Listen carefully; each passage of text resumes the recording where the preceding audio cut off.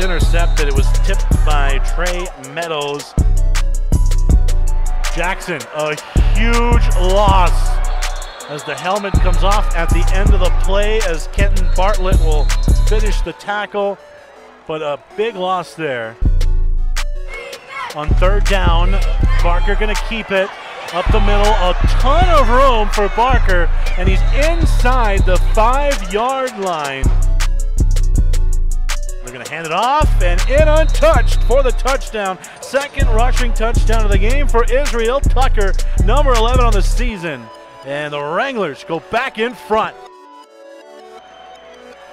On the end around, that's a touchdown. In for the score is Glenn Gibbons. A touchdown, Wranglers. Barker, another try. He'll flip it for the run. Yes. And no signal yet, but it looked like he got in. He is in. It's a touchdown for Israel Tucker. Let's see if Kilgo can lead him down the field. No. Swallowed up in the end zone. Tremont Lofton brings him down for the safety. I mean, I think Dello and Dello Davis and Thomas Owens. This is a live ball. That was an interception, I believe. Yeah, it was.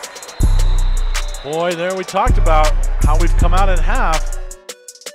Snap and hold, but it's blocked. That kick was low. It's a live ball, and it is gone. See you later.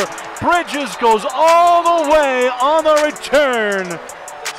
Yeah. I believe that's going to be two points. Marquise Bridges up. on that return there. That's a live ball. Points up for grabs at that point, And the Wranglers cash it in. Here's Tucker on the return. Tucker's still going. Tucker's going to go all the way for the touchdown on the return. Touchdown Wranglers. It's Tucker's third score of the night.